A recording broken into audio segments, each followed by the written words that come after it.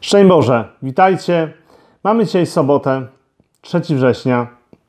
Posłuchajcie dzisiaj fragmentu z pierwszego listu świętego Pawła Apostoła do Koryntian. Miałem na myśli, bracia, mnie samego i Apollosa ze względu na was, abyście mogli zrozumieć, że nie wolno wykraczać ponad to, co zostało napisane. I niech nikt w swej pysze nie wynosi się nad drugiego. Któż będzie się wyróżniał? Cóż masz, czego byś nie otrzymał? A jeśliś otrzymał, to czemu się chełpisz? Tak jakbyś nie otrzymał.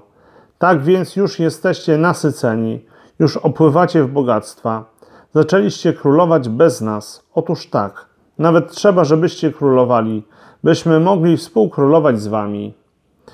Wydaje mi się bowiem, że Bóg nas, apostołów, wyznaczył jako ostatnich, jakby na śmierć skazanych. Staliśmy się bowiem widowiskiem światu, aniołom i ludziom. My głupi dla Chrystusa, wy mądrzy w Chrystusie. My nieobecni, wy mocni, wy doznajecie szacunku, a my wzgardy. Aż do tej chwili łakniemy i cierpimy pragnienie. Brak nam odzieży, jesteśmy policzkowani i skazani na tułaczkę i utrudzeni pracą rąk własnych. Błogosławimy, gdy nam złorzeczą, znosimy, gdy nas prześladują. Dobrym słowem odpowiadamy, gdy nas spotwarzają.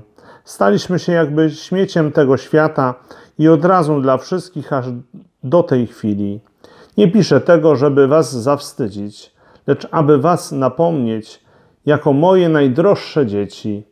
Choćbyście mieli bowiem dziesiątki tysięcy wychowawców w Chrystusie, nie macie wielu ojców. Ja to właśnie przez Ewangelię zrodziłem was w Chrystusie Jezusie. Dzisiaj otrzymujemy od świętego Pawła lekcję dotyczącą ojcostwa. Czym to ojcostwo jest? Wskazując na swój przykład, mówiąc o swoim doświadczeniu ojcostwa, święty Paweł e, w tym fragmencie ukazuje to, że jest ojcem dla Koryntian i mówi do nich trudne i wymagające rzeczy, a jednocześnie mówi o tym, czym jest ojcostwo. Według świętego Pawła ojcostwo przez to swoją służbę jest stratą. Że jak ja decyduję się na bycie ojcem, to będę tracił. I tak mówię o apostołach. Ojcostwo polega też na tym, żeby robić miejsce dzieciom, żeby one doświadczyły tego, co piękne, co dobre, co chwalebne, a ty za to będziesz płacić dużą cenę, e, która wcale nie ma słodkiego smaku. E, przyjdzie w Twoim życiu taki moment, kiedy Pan Bóg zaprosi Cię do bycia ojcem. I to, co zyskiwałeś dotychczas, e, zostanie przeznaczone do tracenia wobec tych, którzy zostali Ci powierzeni. Niech Was błogosławi Bóg Wszechmogący, Ojciec i Syn i Duch Święty. Amen. Dobrego dnia. Szczęść Boże.